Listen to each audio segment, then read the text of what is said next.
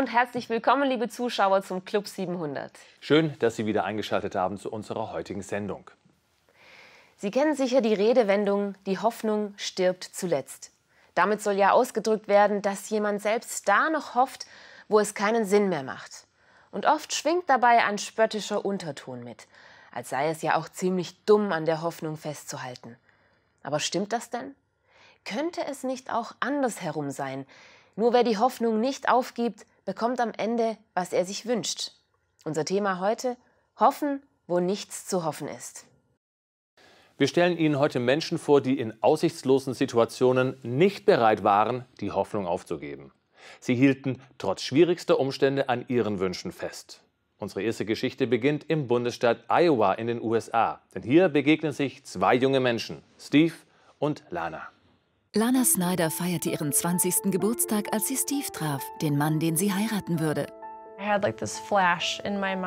Ich hatte plötzlich dieses Bild im Kopf. Da war ein kleines Mädchen und streckte ihre Hände nach mir aus. Sie sagte, Mama. Und daneben war noch ein Baby. Ich wusste sofort, dass Gott sagt, das ist dein Mann und das sind eure Kinder. Ich wusste nur nicht, was ich mit dieser Information anfangen sollte. Es gab nur ein Problem. Bei Lana wurde gerade eine doppelte Gebärmutter diagnostiziert. Selbst wenn sie schwanger werden würde, würde sie das Baby kaum austragen können. Von klein auf war mir klar, ich wollte unbedingt irgendwann heiraten und Kinder bekommen. Es war also hart für mich, das zu erfahren. Sie wusste nicht, dass Jahre vorher Steve von seinem Vater erfahren hatte, dass auch er keine Kinder haben würde. Wir saßen am Küchentisch und er sagte, ich muss dir was sagen. Die Wahrscheinlichkeit, dass du Kinder haben wirst, ist fast null. Ich ging raus und trauerte. Ich weinte, denn ich wollte eines Tages Vater werden. Steve hatte mit neun eine aplastische Anämie gehabt und deswegen eine Chemo- und eine Knochenmarkstransplantation erhalten. Das hatte zwar sein Leben gerettet, ihn aber unfruchtbar gemacht. Es ist ein Verlust, den man in dem Alter nicht erwartet. Uh, Als Lana das erfuhr, waren sie schon fest zusammen. Als Christin hielt sie an Gottes Versprechen fest. Meine erste Reaktion war, wow, das ist echt ein Minuspunkt. Aber im Hinterkopf, wenn Gott will, dass wir Kinder haben, dann werden wir welche haben. Steve und Lana heirateten 2008 und entschieden sich für eine Adoption. Dafür sollten sie aufschreiben, wie sie mit der Trauer über ihre Unfruchtbarkeit umgingen. Lana zögerte. Etwas in mir wollte darüber nichts schreiben. Ich hatte immer noch ein Fünkchen Hoffnung, dass wir ein Wunder erleben und ich irgendwann glücklich schwanger werden würde. Aber sowas aufzuschreiben war irgendwie schmerzhaft für mich. Durch Lana war Steve näher zu Gott gekommen, aber ohne zu glauben, dass er ihnen Kinder schenken würde. Man findet sich bis zu einem gewissen Grad damit ab. So war das jedenfalls bei mir. Ich habe es beiseite geschoben. Wenn das kein Teil meines Lebens sein soll, schiebe ich es weg und denke nicht mehr daran. Eines Abends hörten sie bei einer evangelistischen Veranstaltung zu. Plötzlich drehte sich die Frau vor ihnen um und sprach sie an. Sie spürte, dass sie das tun sollte und sagte, ihr werdet euer Baby haben. Ich dachte nur, wovon redet die? Wir bewerben uns gerade um eine Adoption. Als der Evangelist fertig war, lud er ein, zum Gebet nach vorne zu kommen. Uh, er sprach von Frauen aus der Bibel, die trotz Unfruchtbarkeit Kinder bekamen. Dann betete er für uns. An dem Abend waren beide, besonders Steve, überzeugt, dass Gott ein Wunder tun würde. Ich stieg ins Auto und fühlte Gottes Feuer in mir. Das ist schwer zu beschreiben. Es war gut. Und es war von Gott.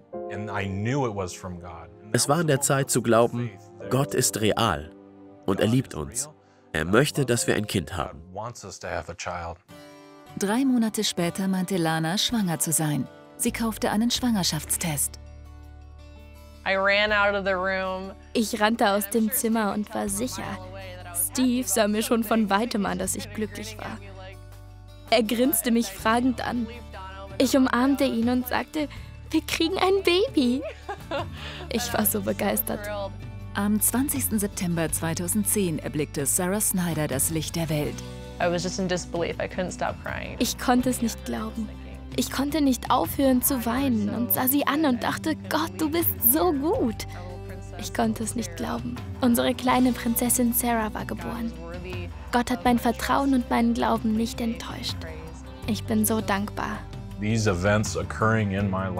Ich bekam dadurch eine tiefere und erfüllendere persönliche Beziehung zu dem allmächtigen Gott. Snyders haben ein Kind adoptiert und es sollen mehr werden. Auch hoffen sie auf weitere leibliche Kinder.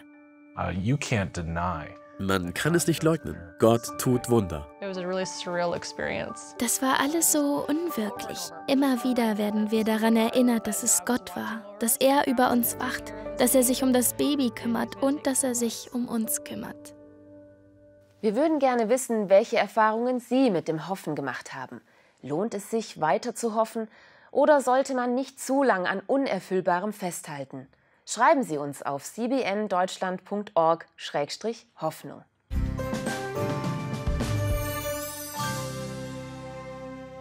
In unserem zweiten Beitrag stellen wir Ihnen Michael Függe vor. Wer Michael heute in Erfurt begegnet, trifft auf einen engagierten und sensiblen Mann, der sich für andere Menschen einsetzt.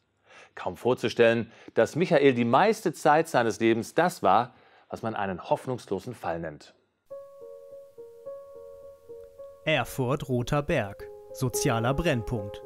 Hier leitet Michael Függe das Begegnungszentrum anders. Gemeinsames Mittagessen, ein geregelter Tag. Was vielen in seinem Viertel schwerfällt, kennt Michael nur allzu gut. Also ich habe einfach ganz stark empfunden, dass Gott zu mir sagt, dass ich das, was ich selber erlebt habe, anderen weitergeben soll.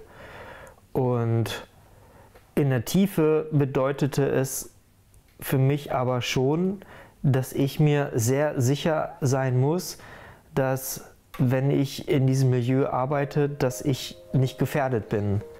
Michael wächst in der Nähe von Wolfsburg auf. Zwei Geschwister, die Eltern haben einen Bauernhof eine idyllische Fassade. Doch schon früh entdeckt Michael seinen Hang zur Sucht. Ne, irgendwie das Süße zu genießen und der Seele irgendwie was Gutes zu tun. Und mein Vater hat auch viel Bier getrunken, mein Vater hat geraucht und das waren alles Eigenschaften, die ich mir schon im frühen Alter auch angeeignet habe. Ich habe mit sechs, sieben Jahren meinem Vater Zigaretten geklaut, habe die gepafft, habe mir ein Bierchen in meinen Schreibtisch gestellt, habe das getrunken.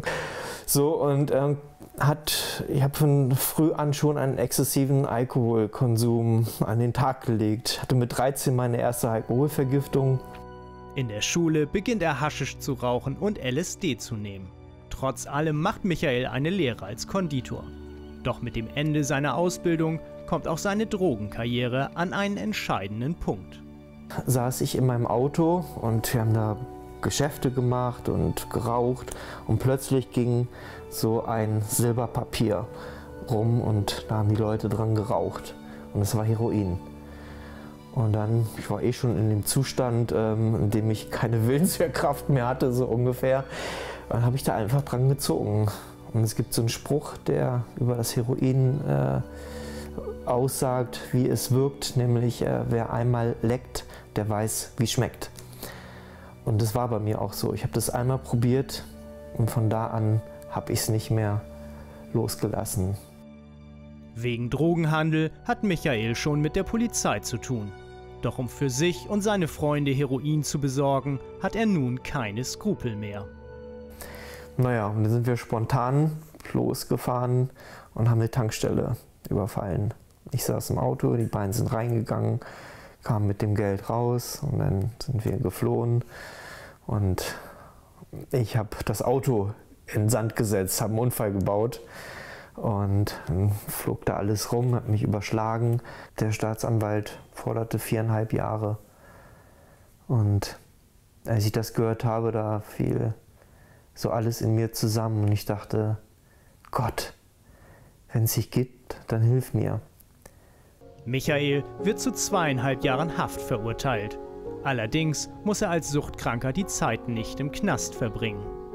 Und dann habe ich eben eine Langzeittherapie gemacht. Das ging einigermaßen gut bis zum Mai 1990, kam dann in die Nachsorge und bin auch da wieder rückfällig geworden. Und das heißt rausschmiss aus der Therapie. Und Abbruch der Therapie bedeutete auch, ich habe die Auflagen nicht erfüllt vom Gericht. Ich hätte zwei Jahre in den Knast gemusst wieder, obwohl ich 18 Monate schon die Therapie gemacht hatte. Michael will auf keinen Fall wieder ins Gefängnis und flüchtet zu seinem Bruder. Er weiß aus eigener Erfahrung, wie es Michael geht. All das, was ich erzählt hatte mit meiner Drogengeschichte, das hat mein Bruder auch erlebt. Also wir haben zusammen diese ganze Drogenkarriere sozusagen erlebt. Nur irgendwann habe ich gehört, dass mein Bruder irgendwie mit Gott was zu tun hat und angeblich ein Christ geworden sei. Was ich nicht wusste, ist, dass der so ein Haus aufgemacht hat für Drogenabhängige, um denen zu helfen. Und das war dann eben so ein christlich geführtes Haus. Und ich dachte, naja, ich, äh, besser ist obdachlos zu sein, bleibe ich da mal ein paar Tage. Und dann ähm, habe ich christliche Gemeinschaft erlebt. Dann habe ich was ganz Neues erlebt, was ich bis dahin nicht kannte.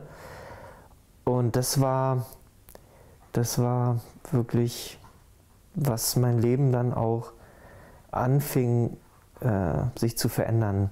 Oder was dazu beigetragen hat, dass sich mein Leben verändert. Es war nämlich ein, eine Atmosphäre der Annahme sozusagen. Also da waren Leute, die da gelebt haben und die haben immer gesagt, schön Micha, dass es dich gibt. Michaels Bruder ermöglicht ihm seine Therapie fortzusetzen, ohne wieder ins Gefängnis zu müssen. Und das war dann das neue Land in Hannover. Ähm, ob sie Hoffnung und Glauben für mich hatten, weiß ich nicht. Äh, ist auch noch eine offene Frage bis heute, weil motiviert war ich überhaupt nicht. Ich bin dann nachts abgehauen auf die Drogenszene und habe mir Drogen besorgt, habe mir eine Überdosis gesetzt, habe mir nochmal eine Überdosis gesetzt und eigentlich ähm, ging mein Leben dahin, dass ich eigentlich um den Tod gebettelt habe. Die klaren Worte einer Mitarbeiterin öffnen ihm schließlich die Augen. Micha, wenn du so weitermachst, wirst du sterben. Und das war so eine Aussage, der Stunde. Das war das Wort der Wahrheit sozusagen. Und ich wusste, das stimmt, weil ich so rumgespielt habe mit meinem Leben und es mir so egal war. Ähm, auf der einen Seite, dass ich das so rausgefordert habe.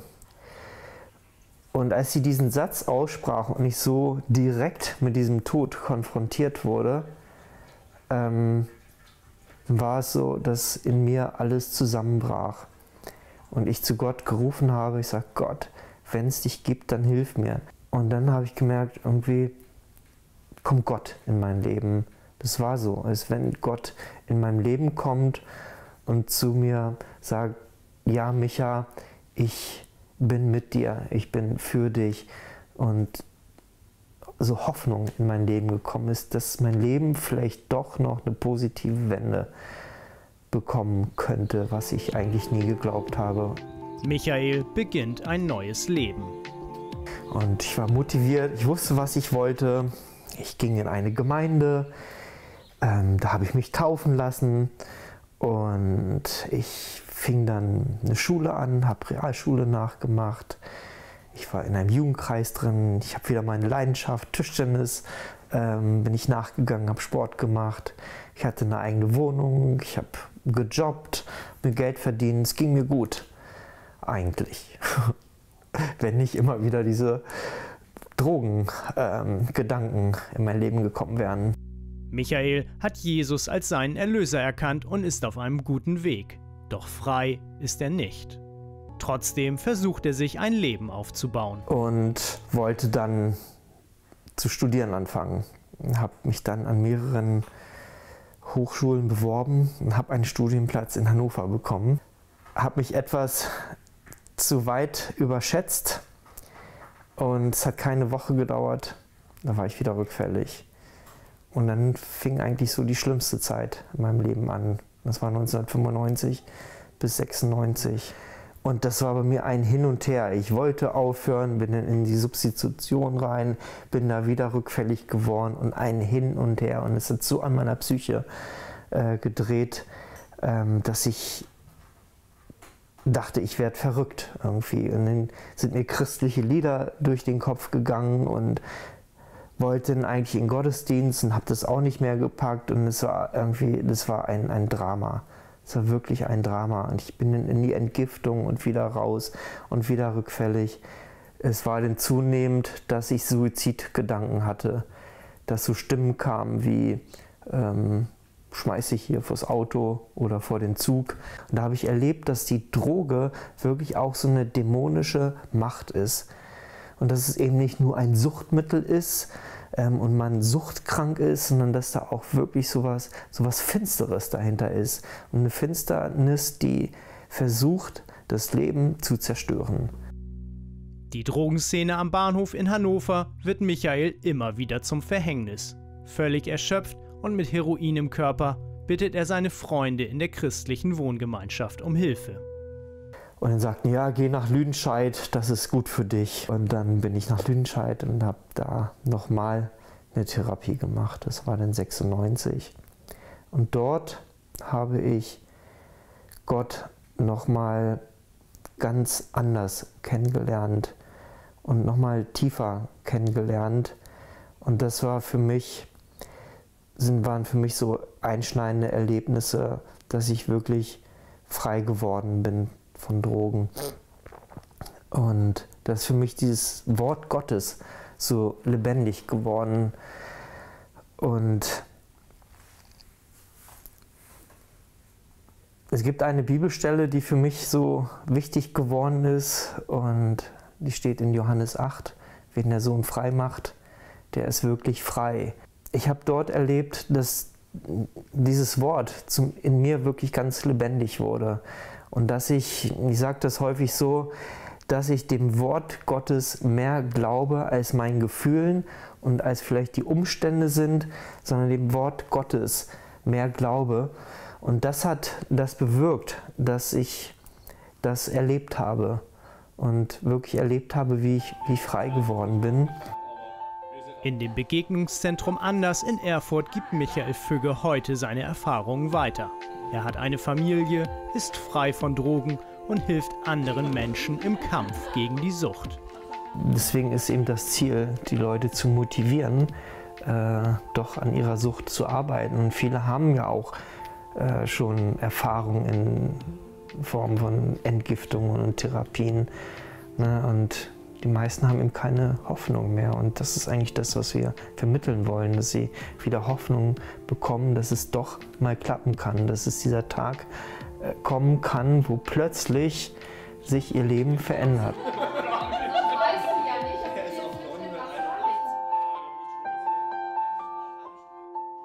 Menschen wieder Mut zu machen, damit sie die Hoffnung nicht verlieren.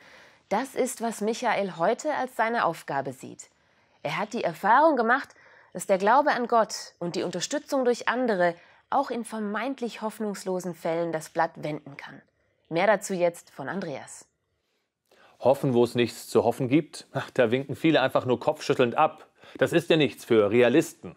Aber so einfach ist das nicht mit dem Prinzip Hoffnung. Zumindest für uns Christen ist es eben nicht nur simpler Zweckoptimismus, der Negatives verleugnet, während man grundlos glaubt, alles wird irgendwie gut. Ganz im Gegenteil. Gerade angesichts der Unmöglichkeiten entwickelt sich im Glauben ja die Grundlage für Hoffnung, so wie angesichts der Angst erst wahrer Mut entsteht. Denn für uns Christen hat das irgendwie von alles wird gut einen Namen, Jesus Christus.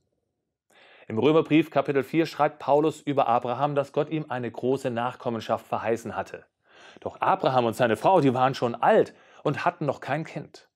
Und Paulus schreibt, obwohl nichts mehr zu hoffen war, gab er die Hoffnung nicht auf und glaubte, dass Gott ihn zum Vater vieler Völker machen würde. Abraham vertraute Gott mehr als seinem Realismus und deshalb ließ er sich nicht entmutigen. Und der Vergleich von Hoffnung und Mut ist vielleicht gar nicht so schlecht. Hoffnung braucht Mut. Den Mut nämlich, die Spannung auszuhalten, während man auf die Erfüllung der Hoffnung wartet. Demgegenüber steht die Angst, dass die Hoffnung enttäuscht werden könnte. Und für manche ist es dann weniger schmerzhaft, erst gar nicht zu hoffen. Aber dann erlebt man auch nicht, dass sich Hoffnungen erfüllen.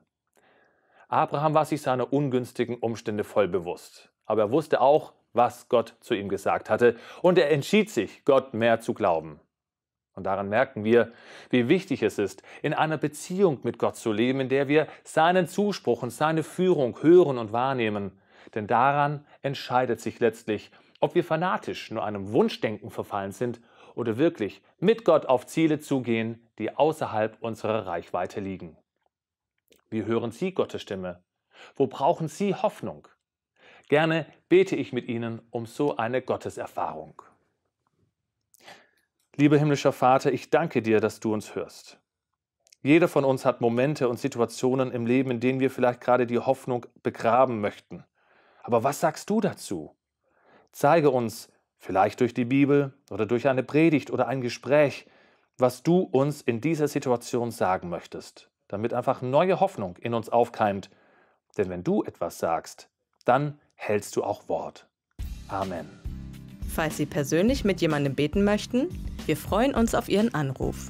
Für Deutschland wählen Sie 040 1818 8800. Für Österreich 01 2530 22544 und für die Schweiz 044 5750 270. Der Anruf erfolgt zum Ortstarif.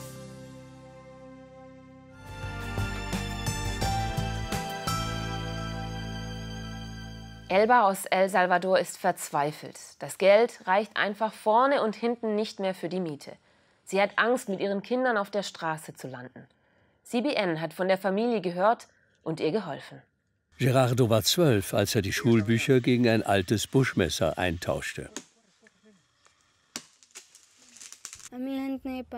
Es gab Geld fürs Hecke schneiden oder Zäune reparieren. Das gab ich meiner Mutter.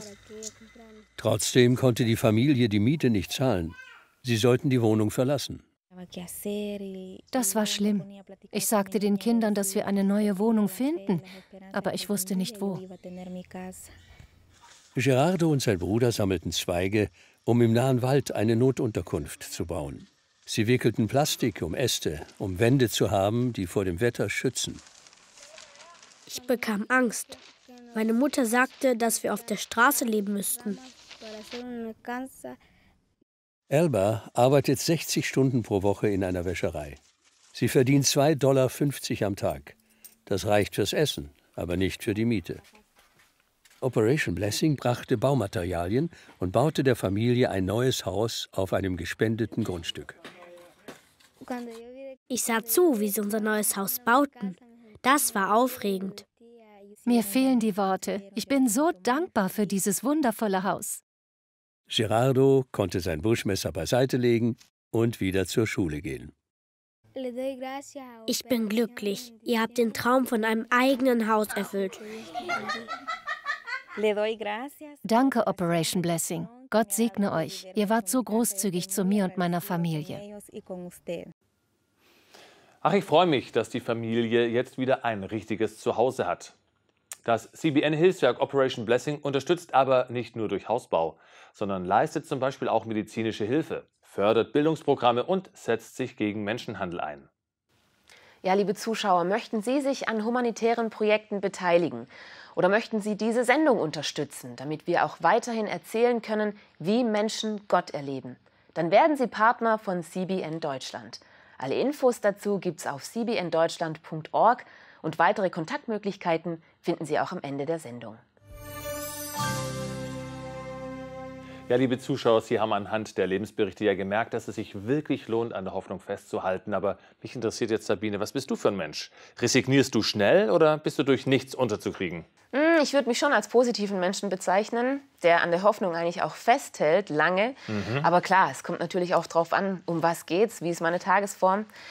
Ich Hast flüchte mich immer wieder zu Gott. Ja, natürlich. Äh, hallo? Ja. Aber ich flüchte mich zu Gott, wenn's, ja, wenn ich merke, ich komme nicht weiter. Ja, es gibt einem einfach Kraft. Ja, von daher kommen wir zum Ende unserer heutigen Sendung. Vielen Dank, dass Sie mit dabei waren. Danke, dass Sie für uns beten, uns unterstützen in unserer Arbeit. An dieser Stelle natürlich auch der Hinweis auf die Gebetshotline, die ist noch geschaltet. Tschüss, bis zum nächsten Mal. Auf Wiedersehen und Gottes Segen.